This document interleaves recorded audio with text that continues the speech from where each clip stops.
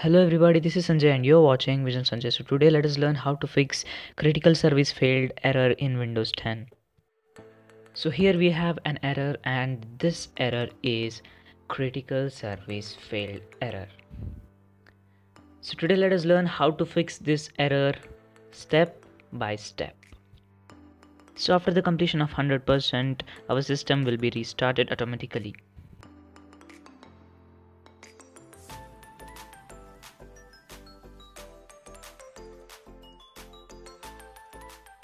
Then we have preparing automatic repair which is actually useless in this situation.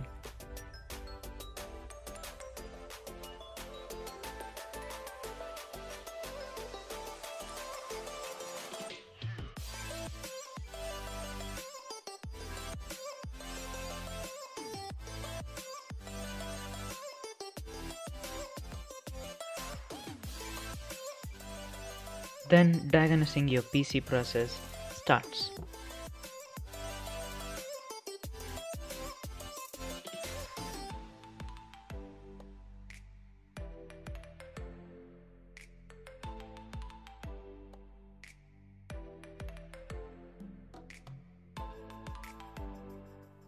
So we'll be redirected to this page and then what we have to do is just click on the advanced option. After clicking on the advanced option, we will be redirected to this page. Here we have to click on the troubleshoot option and this is our second step.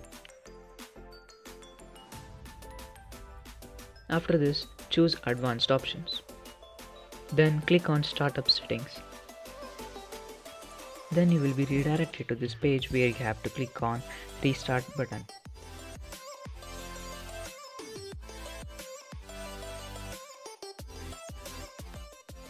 After the restart, you will be getting a blue screen where you have startup settings and there you have to click F7 to disable driver signature enforcement.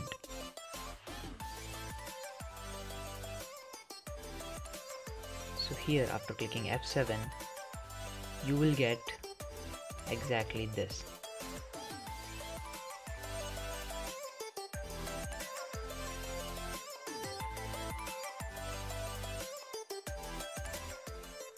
Still now we are not getting any preparing automatic repair or diagnosing your PC. That means our system is loading. So here you go, the Windows is also loading. That means our method actually worked. So we are in login page and now I will type the password so as to log in login in the Windows desktop so we finally fought the critical service failed error and our system is error free so you can use this method to uh, make your computer error free so this is it for today. Hope you like the video. Please do support my channel. Thank you.